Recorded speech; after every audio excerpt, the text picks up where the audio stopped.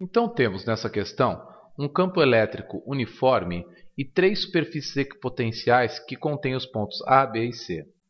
Lembre-se que o potencial elétrico das superfícies equipotenciais diminui no sentido do campo elétrico. Portanto, o potencial em C certamente é menor do que o potencial em B, e o potencial em B, como mostrado, é menor que o potencial em A. Na questão A, vamos calcular a intensidade do campo elétrico. E vezes D é igual a U. É o famoso EDU. Lembre-se que D é a distância entre as superfícies equipotenciais e U é a DDP entre essas superfícies, fazendo-se potencial maior menos potencial menor. Como sabemos os potenciais das superfícies A e B e sabemos a distância entre as superfícies equipotenciais que contêm esses pontos, vamos aplicar o EDU neste trecho do campo elétrico uniforme. Então, E vezes D, D é 0,1 metros, distância das superfícies equipotenciais, é igual a potencial em A, 100, menos potencial em B, 60. E igual a 40 dividido por 0,1, ou seja, 400 volts por metro ou 400 newton por coulomb. Um erro comum na aplicação da expressão EDU é esquecer que essa distância é a distância entre as superfícies equipotenciais e não a distância entre os pontos considerados.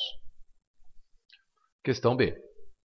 Vamos calcular agora o trabalho da força elétrica para levar uma carga do ponto A, portanto do potencial de 100 volts, para o ponto B, que é o potencial de 60 volts. Bem, lembre-se que necessariamente o trabalho da força eletrostática independe do trajeto descrito pela partícula. O trabalho será dado pelo produto da carga, que se moverá do potencial A para o potencial B, vezes a DDP entre os pontos A e B. O trabalho então será 2 vezes 10 a menos 7 coulombs vezes 100 menos 60. O trabalho será de 2 vezes 10 a menos 7 vezes 40. O trabalho será de 80 vezes 10 a menos 7 joules, ou 8 vezes 10 a menos 6 joules, ou ainda 8 microjoules. Lembre-se que micro equivale ao número 10 a menos 6. Na questão C, vamos calcular o potencial elétrico no ponto C. Bem,